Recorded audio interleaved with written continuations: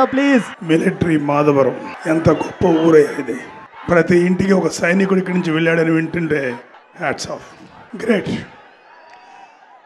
మేము ఈ ఊరు వచ్చి ఇంతవరకు ఈ నా పేరు సూర్య సినిమాకి సంబంధించి ఎటువంటి కార్యక్రమాలు చేయలేదు. మొదటి కార్యక్రమం ఈ ఊర్లోనే ఎందుకు చేయాలనుకున్నామంటే రీజన్ చాలా సింపుల్.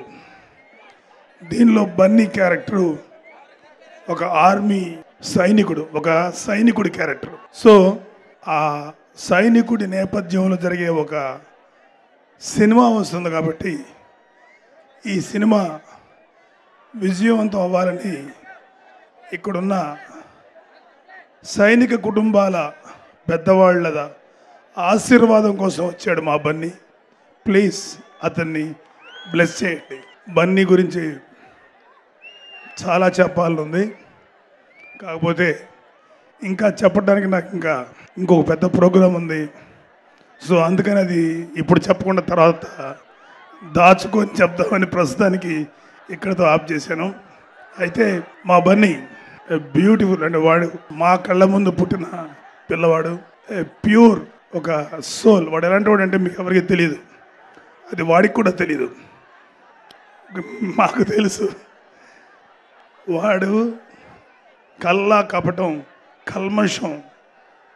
ఇంత కూడా తెలియదు వాడికి. ఆడు ఆడు చిన్నప్పుడు మేము వెళ్తుంటే ఆడు అలా దగ్గరికి వచ్చి బాబాయనో అట్లానో నన్నే కాదు మా ఇంట్లో వాళ్ళని అందరిని అలా పలకరించేవాడు. వాడి మనసు అంత బ్యూటిఫుల్ మనసు. మావాడు ఒక ఒకే ఒక చిన్న విషయం చెప్తాను ఇది ఇక్కడ చెప్పచ్చు.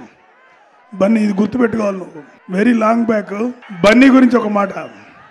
శ్రీధర్ గారు ఈ మాట నాకు తెలుసు అరవింద్ గారికి తెలుసు మేము ఇద్దరమే మాట్లాడుకున్నాం. బన్నీ కన్నా పెద్దవాడు ఒకడున్నాడు చిన్నవాడు ఒకడున్నాడు బన్నీ యూజువల్గా చాలా సాఫ్ట్ హుషారుగా ఉంటాడు తప్ప ఎక్కువ తెలివితేటలతో మాట్లాడేవాడు కదా అప్పుడు. అరవింద్ గారు ఒకరోజు అడు బన్నీ అప్పుడు నాలుగో తరగతి ఐదో తరగతి చదువుతున్నాడు. మెడ్రాస్లో ఆ ఇంట్లో ఉండేవాళ్ళు మీరు. పెద్ద స్తంభాలు నేనేదో ఆయనకి ఒక కథ వచ్చాను ఒక వేరే విషయంలో.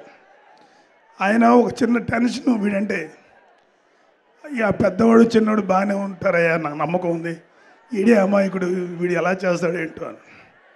నాకు తెలియదు కానండి నేను మనస్ఫూర్తి చెప్తున్నాను. అరవింద్ ఒకటే మాట అన్నాను సార్ వీడు అమాయకుడు ఇంత మంచోడు సార్.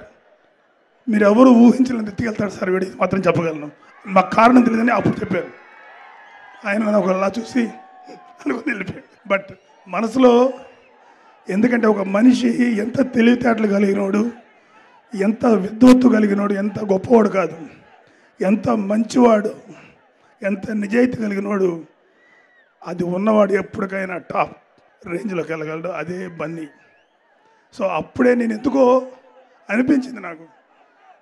చాలా పెద్దోడు అవుతాడు సార్. మీరు ఎవరు ఎక్స్పెక్ట్ చేయలేరు అన్నాను అది భగవంతుడి దయ. నా నమ్మకం ఏమీ కాదు. ఊరికి నా నమ్మకం అబ్జర్వ్ చేస్తున్నాను that is what Bunny so Bunny ఇంకా నీ గురించి తర్వాత చెప్తాను. చాలా మాట్లాడుకోవాలి.